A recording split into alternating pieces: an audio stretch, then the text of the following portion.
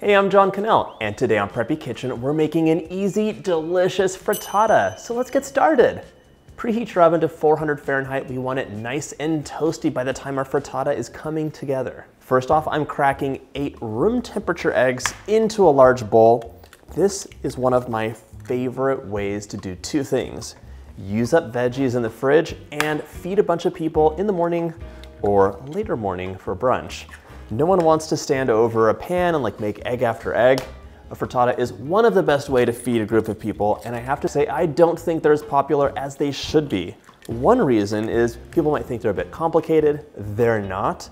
You might think, oh, burnt eggs. That's what I thought. I hate burnt eggs. But a properly made frittata will not be burnt. It'll have a silky, custardy texture with all that cheese, and it's amazing.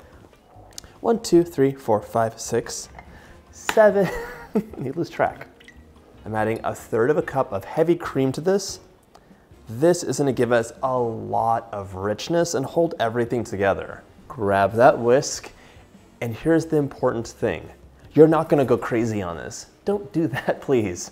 We're gonna gently mix this together just because if you work too much air into the eggs, you have a lot of little bubbles, and as you might know from baking, those bubbles expand in the oven, and it'll be spongy and dry and not silky. So just give it a nice little whisk just to move it together, not going mm -mm. This is great. I'm also seasoning this with about half a teaspoon of salt. This gets set aside. I have a 12 inch skillet. This is where the magic happens. It needs to be something that you can pop into the oven, so no plastic handles, has to be oven safe, otherwise bad things will happen. I have a little bit of prep work to do, so I'm gonna be chopping an onion. Just give it a rough chop. It doesn't have to be perfect at all. Although, a finer chop might be nice. I'm not gonna have you hanging around chopping and waiting for stuff to get warm though. We're gonna stage this out so it all comes together with like no waiting. Because chances are, if you're making a frittata, you have family that's hungry, guests that are coming over, and you don't wanna hover and waste time. Okay, go ahead, Heat your oil up before you chop that onion. Three tablespoons of olive oil right in there. Once your oil is shimmering in the pan like it is now, we can add that onion in, which of course you chopped while it heated up. And we're gonna stir this occasionally. I want these onions to get translucent and even take on some color. I love caramelized onions, so we could take them in that direction if you want. While our onion is cooking and you're stirring occasionally, you're gonna mince up four cloves of garlic. Give this garlic a smash, very satisfying. Keep stirring occasionally. Say goodbye to that papery skin and hello to sticky garlic fingers, but it's worth it. And I'm using like four or five cloves of garlic. I just really go by the mass of the garlic and how I feel. So however much you want, it's really gonna work out. Since I have a minute or two left, I'm gonna add some veggies that I like that are in the fridge today. So I have some zucchini, and we want about three cups of veggies, so it's really up to you, whatever they are. You could add some squash into this. There could be potato or sweet potato.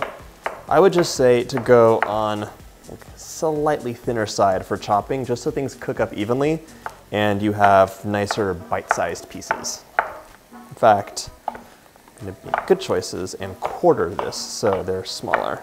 Stir maybe a little bit more frequently if you see any browning occurring. One bell pepper, I love some bell pepper, but if you don't like it, something else, anything will work. Hmm, it's really getting very hot. A lot of color. Ah. All right, the last thing I'm gonna add today is a little bit of asparagus. I'm just gonna chop it up into bite-sized pieces. not gonna add too much of the woody stalks. I actually like to shave these down and cook them, use them for other things. I'm gonna add my garlic in. Mmm, so fragrant right away. Now I'm adding my chopped veggies. There we go. The asparagus, the peppers, and our zucchini. And stir it up. And also a lot of this moisture is gonna cook off. Too much water in here right now. And depending on your veggies, this will be about five to eight minutes. So just stir, stir, stir. And I'm over medium heat still, so it's not super hot, and it's just gonna cook these guys until they're crisp tender so you still have a play of textures and it's not just like a mushy, silky frittata. These guys are almost where they need to be. They're almost crisp tender, so I'm gonna add some spinach right now, just like a handful or two. You can see the leafy greens wilt really quickly, and yeah, you could have used kale in here. Swiss chard is like one of my mom's favorites that I love as well.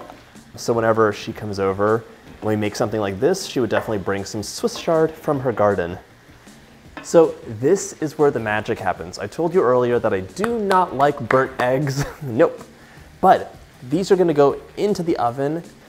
Our eggs aren't gonna burn because we're gonna cook them properly and they're gonna be over a bed of veggies. The, veg the veggies are gonna get like the blast of heat from the pan, veggies and some cheese. Right now I'm spreading over about a cup of shredded cheese. Any cheese you like will work well.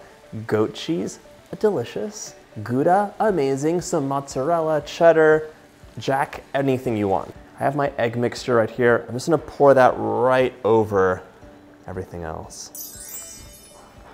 Get all that egg out. I'm gonna sprinkle the remaining half cup of cheese over the top. We're gonna cook this for about five minutes over that medium heat, just until the edge starts to set. We're not gonna cook it through in the pan, that would lead to burning. If you look closely, you can see the edge is just setting on my frittata, so this is gonna go into the oven 400 degrees for about eight minutes or until it's puffed and set, but not burnt. The sprinkling of some more cheese, it'll melt right on. I'm adding some more mozzarella as well as some Parmesan. So grate that on. To finish it off, I'm just gonna add a few fresh herbs sprinkled over the top. It's very pretty and you'll get a kiss of flavor and a little hint of some herbal wonderfulness. And just like that, your frittata is ready to enjoy. Those eggs are so silky with the cheese and the cream. And I love the tenderness of the veggies sprinkled throughout. You've gotta try this recipe. It is the ultimate breakfast and brunch treat. And if you like this video, check out my breakfast playlist.